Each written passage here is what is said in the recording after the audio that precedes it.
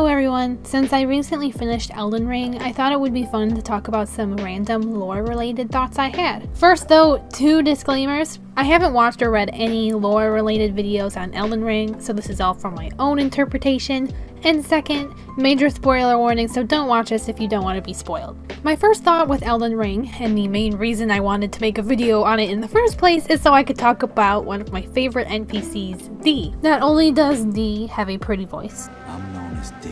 I hunt down those who live in death. he also has one of the coolest looking armors in the game. Or in any game, if you ask me. I love it a lot. I think it's really cool. I think the appearance of D's armor relates to both the world of Elden Ring, D's beliefs, and D's own story. Firstly, the appearance of his armor relates to D and his beliefs about the Golden Order. The armor is made mainly of two colors, gold and silver. The gold could represent the Golden Order and the goodness D sees in it. So gold would be goodness and righteousness to him, while the silver could represent those D hunts, the evil of the world as he sees it. It is those who live in death, which he says are things which sully the guidance of gold. And the monsters you fight in the game that are those who live in death are colorless things like skeletons, skeletal snails, and death birds. The gold and silver on his armor are intertwined, which shows that the Golden Order and those who live in death have become intertwined. And this could be backed up by the Elden Ring fandom wiki, which says hunters like D abandoned learning in search of an absolute evil to contend with.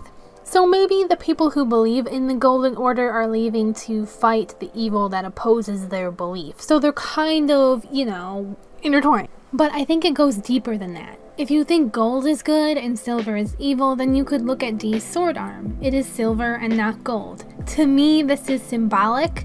He has to do an evil act, killing to maintain the goodness and righteousness of the world and the Golden Order. And I think you could take this idea even further by looking at the sword he uses, the Inseparable Sword. It's made of both silver and gold as well. I wonder if this was intentional by the designers of the armor uh, or not. Either way, I really love the idea and I had a lot of fun just thinking about why it looks the way it does.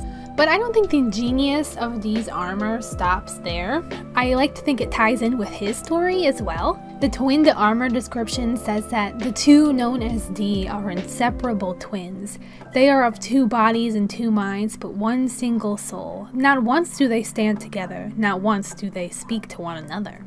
And the sword they use, the inseparable sword, says the inseparable twins found solace in the Golden Order, the only institution not to revile them as accursed be. So I think there's two things to take away from these descriptions. First is that they both believe in the goodness of the Golden Order since they took in the twins. And second, they had a falling out with each other since they don't stand together or speak to each other. So the gold and silver on the armor could be both D and his brother. In the beginning, I think the gold is D and the silver is his brother, who is especially white when you first meet him.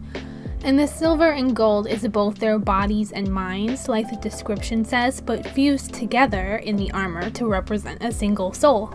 Outside of that, the way D stands makes me think he wants to fix their relationship or he wants to protect his brother. I found that when D stands, he usually holds the silver figure up by its face, kind of like he's shielding it from seeing, even though the face has a blindfold. And when you meet D's brother, he's scared, so he does need some kind of protection and strength. And when D dies, his brother takes his armor, and I think the roles in the armor switch it. D becomes the silver person who's dead and can no longer hold himself up, while the gold is his brother, and he can now stand strong in gaining revenge against his brother's death. So that's my thoughts about the armor. I thought it was just fun to think about. and now moving on from one of my favorite NPCs to another one of my favorite NPCs, my girl Ranni. One of the things I found most annoying about getting to Ranni was dealing with the pesky finger creeper hands around her. But when I got to thinking about it, I think there's an interesting thought to be had about their presence in the game and the location. First is their lore, which says they are born out of an act of blasphemy, which is from the ringed finger weapon. The act of blasphemy could be because of the Cuckoo Knights that attacked the manor and whose souls are trapped within. I got that from the wiki, and I don't know much about it, and I don't remember much about it being said in the game, so I'm not entirely sure about that theory. But it could also be because of Ranni's actions in the Night of the Black Knives, which led to or was part of the Shattering and the death of Godwyn. And that's what caused Ranni to die and move her spirit into the doll you see in the game. And all of this happened because Ranni didn't want to be controlled by the two fingers. Regardless of why the finger creepers are there, because of the Cuckoo Knights or the Night of the Black Knives, I think it's interesting and kind of ironic that a bunch of hands are around her, hands which control puppets and dolls, and hands which have at least two fingers.